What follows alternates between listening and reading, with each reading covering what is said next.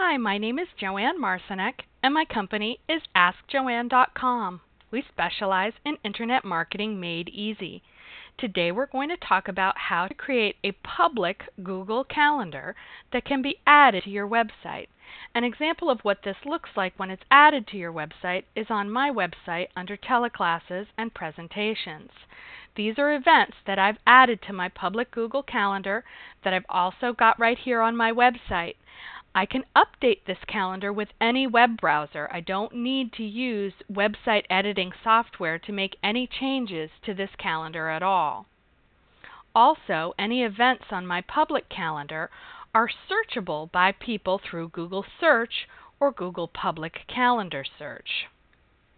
To get started, we're going to go to Google Calendar. I'm going to sign in with a demo Google account. If you don't yet have a Google account, click down here where it says Create a new Google account.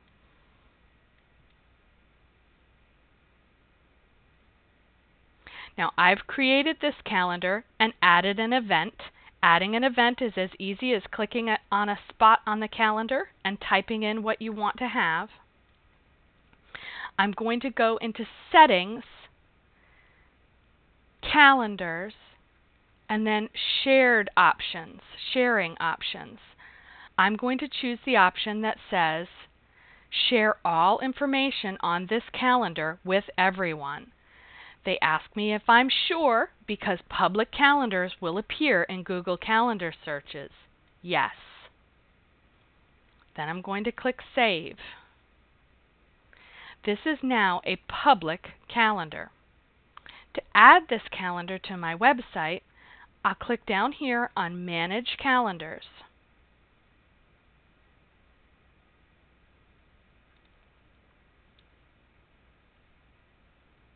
Once I'm in Manage Calendars, I go to General,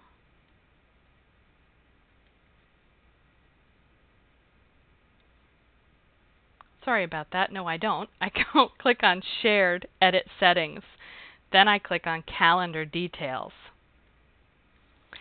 On the calendar details page, I can write a description of what this calendar is. For example, if it were uh, a calendar of free introductory events or a calendar of workshops I was doing or a calendar of teleclasses I was doing, I could put that description in here. I could put in a location if my workshops and intros were being done in a specific physical location. This is really helpful if people are using public calendar search to find out where you are.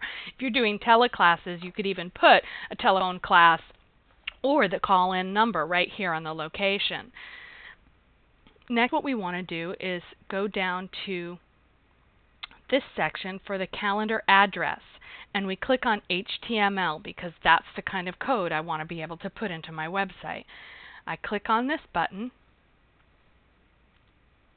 and it gives me a web address to send people to view my calendar, but what I really want to do is embed the Google Calendar in my website or blog. Here I click on the configuration tool. The configuration tool lets me put in the title of the calendar.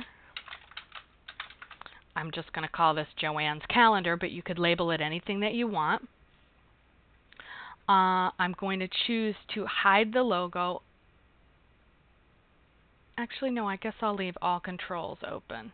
I can choose the size. I can choose whether it starts in a month view or an agenda view. I can show how tall the month is by how many events I want to show per page.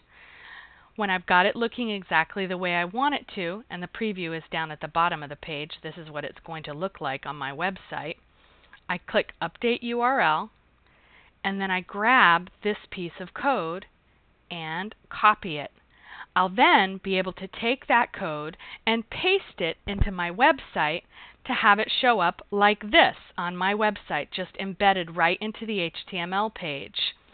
That little bit of code is something that you'll want to give to your web designer if you're not the person who updates your website. Then, anytime you log back into your Google Calendar and make changes, they will be automatically reflected on your website. Well, that's it for today. Thanks so much for tuning in, and please, if you have any questions, feel free to stop by at AskJoanne.com to give us a call at 203 364 0222 or to Skype me at Ask Joanne. Thanks so much and have a great day.